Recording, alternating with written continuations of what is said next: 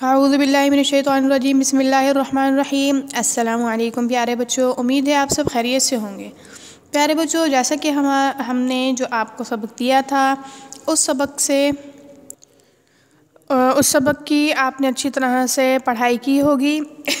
Book page number sixteen पे lesson number two unit number one book page sixteen. इसकी पहली line हमने आपको याद करने के लिए दी थी।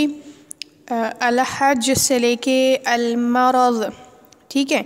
यहाँ तक हमने आपको काम दिया था। उम्मीद है सब बच्चों ने याद किया होगा। उर्दू और अरबी दोनों।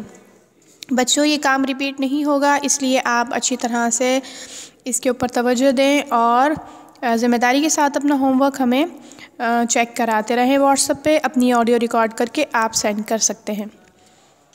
अब आज का जो हमारा होमवर्क है वो ये है कि आज हम ये वाली लाइन की रीडिंग करेंगे और इसको याद करेंगे।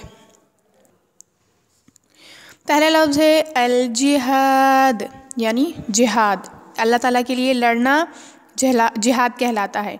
अल मुजाहिद, यानी मुजाहिद। मुजाहिद उसको कहते हैं जो अल्लाह ताला की राह में लड़ता है। अन नबी नबी ये मैंने इसलिए पढ़ा क्योंकि इस पर दो शद है। नून के ऊपर भी शद है और या के ऊपर भी शद है। इसलिए इसको पढ़ेंगे नबी यानी नबी अल यानी अदल या इंसाफ, अल अर्श, यानी अर्श या आसमान, अल यतीम। यतीम इसको कहते हैं जिसके वालिद नहीं होते।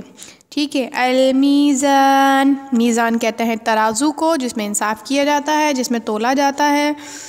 अज़िल्लत, ज़िल्लत कहते हैं रसवाई को। अलमशरक़, यानी मशरक़। अलगरूब, यानी गरूब। गरूब कहते हैं डूबने को। अलउम्र यानी उम्र। अशिफ़ा यानी शिफा या सेहत याबी ठीक है बच्चों, ये आज का आपका होमवर्क है। इसको अच्छी तरह से इसकी अरबी भी पढ़िए और इसको याद भी कीजिए। उर्दू तर्जुमा भी याद करें इसका और अरबी भी तर्जुमा याद करें। मिलते हैं नेक्स्ट वीडियो में। अपना ख्याल रखिएगा। अल्लाह हाफिज़।